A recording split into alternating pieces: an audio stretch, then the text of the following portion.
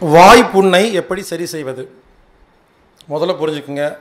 வாயில் ஒருத்தருக்கு புண்ணு வருது இல்லை வந்து கொப்பளம் வருது இல்லை வாய் நாற்றம் வருது.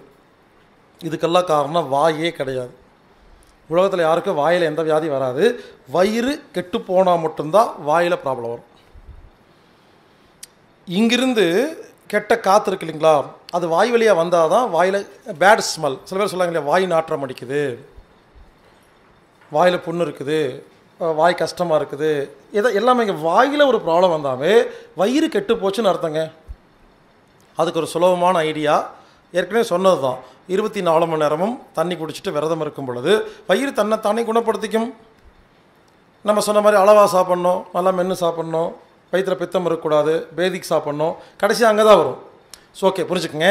வயிறை சுத்தம் செய்வதற்கு நாம் சொல்லிக் கொடுத்த எல்லா விஷயங்களையும் ஒழுங்காக ஃபாலோ பண்ணி வயிறை க்ளீன் பண்ணிட்டா வாயில் கெட்ட வாசம் அடிக்கவே அடிக்காதுங்க. புண்ணு சரியாக போயிடும் வாய் உள்ள எல்லா வியாதிகளுக்கும் வயிறு தான் காரணம் புரிஞ்சுக்கிட்டு வயிற்றை சரி பண்ணுங்கள் வாய் கண்டிப்பாக சரியாக போயிடும் இதுக்குன்னு தனியாக ட்ரீட்மெண்ட் கிடையாது. இங்கே ஒன்று செஞ்சால் சரியாக போகாது.